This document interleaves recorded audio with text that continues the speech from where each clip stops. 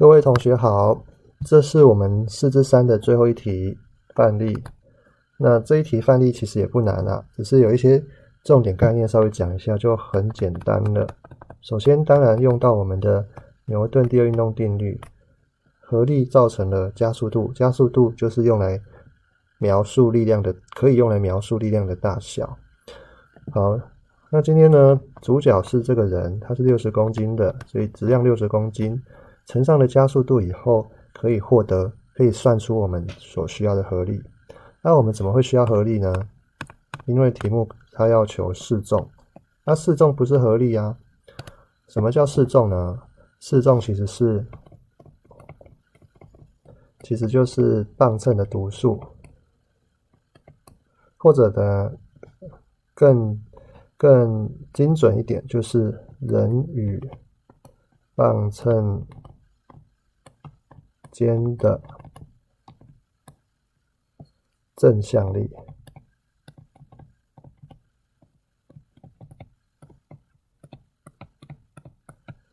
还记得正向力吗？就是互相挤压，互相挤压才有的力。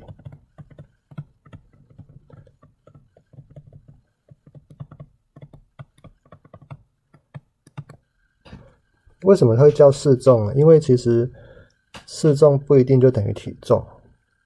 像今天这个情况呢，人搭电梯，然后往上升到二十楼。各位都有搭过电梯吧？在上升的时候啊，一开始你会先被往上一推哦。那往上一推的时候，其实那个推力应该会比你的体重还要重。推力啊，推力会比你的体重还要大。这样你才有办法被往上推啊，才有办法被往上加速。所以它其实就是在那个当下，在你当刚要上升的那个当下呢，其实应该体重计和你之间的挤压，那个力量应该是大于体重的。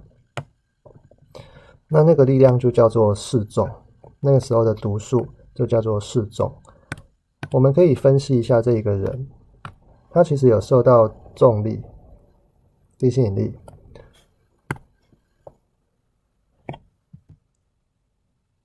那同时呢，它有受到正向力，就是我们的示重。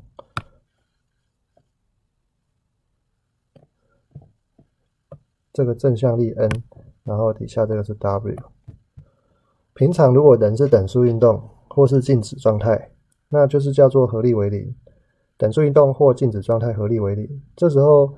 N 正向力 N 和 W 合力是零，这两个应该一样大。可是如果说人是往上加速，就比如说电梯刚要上升的时候，必须要把人从静止变成有一个向上的速度，那这时候应该有一个力会比较大，才会变成有加速度，合力不为零，就会是向上的 N 比较大。那向上的 N 比较大，代表的就是磅秤和人之间的挤压越来。越大了啊，比原本的挤压还要重，还要大力。那这样的话，其实读数就会变重，所以示重就会改变。那今天就是分成三种情况：零到四秒、四到十秒、十到十八秒，分别是对应到刚上升啊，从速度为零到从静止到到上升。然后第二个是等速上升啊，第二小题其实对应到等速上升。第三个是从上升状态呢，最后要停下来，总不会一直一直往上升吧，对不对？你最后要停下来，这道题就分成这三个情况啊。那这三个情况呢，合力就会不一样，合力就会不一样。那合力是多少呢？就会需要用到我们的。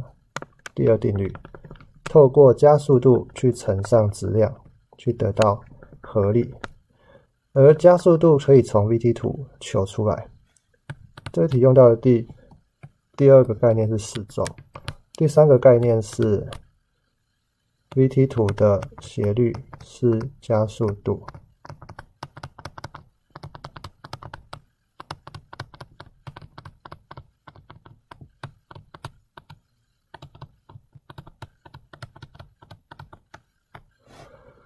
所以其实你可以看得到零到四秒时候的斜率啦，VT 图的斜率啊，就是四减零除以四，结果是一。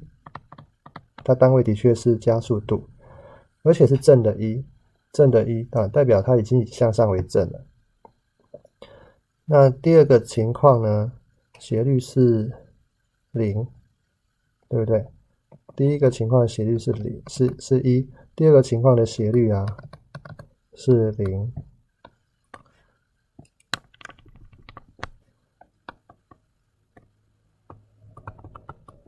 第二个情况的斜率是零，加速度也是零。第三个情况呢，十到十八秒，加嗯斜率是负的零点五，对吧？因为它是零减四，速度从四变成零，末数减初数，那去除上时间，结果是负零点五。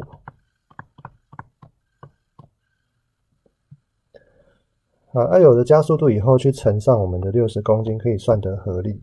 那算得合理以后，算得合理以后，我们去扣除重力的影响，我们就会得到了四重了。这就是这题的思路。所以第一题第一个情况，合力造成了加速度六十公斤乘以一，合力是六十牛顿。但是这合力今天是由两个力所合成。是由向上的正向力减掉向下的重力，然后会等于六十。而重力又是多少？重力是 Ng，也就是六百牛顿。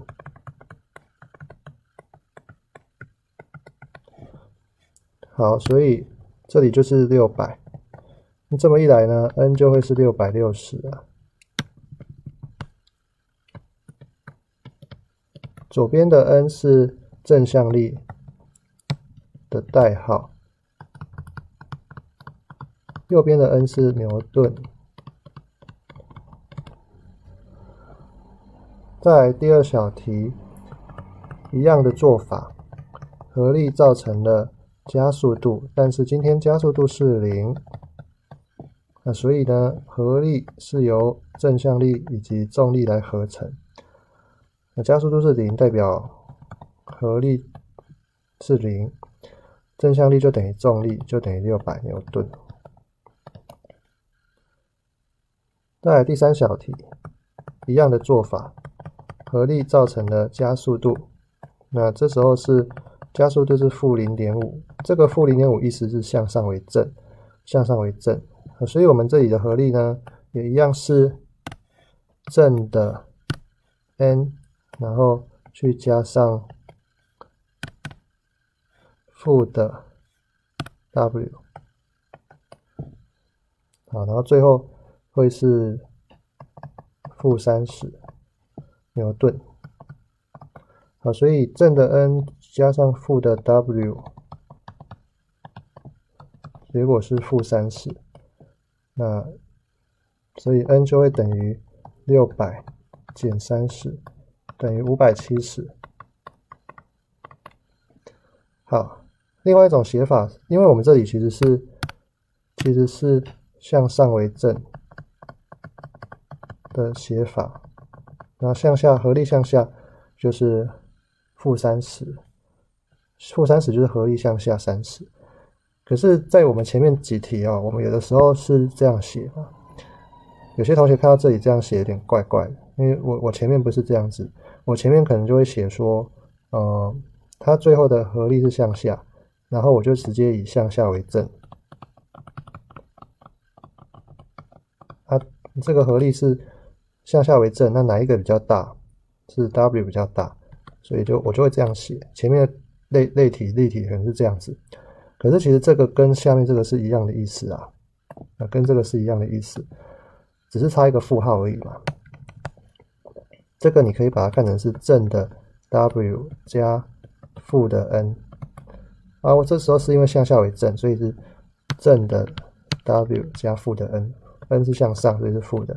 不管是下面这个写法还是上面这个写法，其实都一样啊，它都是把 W 和 N 呢看成是量值而已，这个 W、N 啊都只是量值，符号中只含量值，而量值没有负的。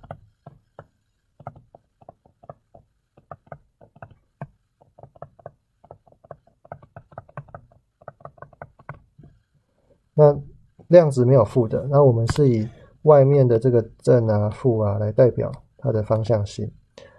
啊，最后只要你有注意到方向性，那量值是量值，今天的这个符号只表示量值这样子。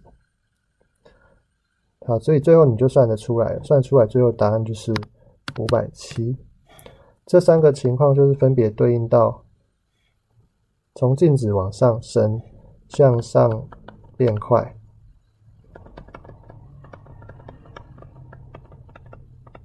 然后第二个情况是向上，但是等速；第三个情况是向上，然后渐慢。这对应到我们一开始介绍加速度时候，我们说。其实加速度的方向不一定就速度的方向啊，你从加速度是看不出速度方向的，因为它有这三个情况，速度都是向上，速度都是向上，可是却是加速度却是有大于零、小于零和大于零等于零和小于零的差异。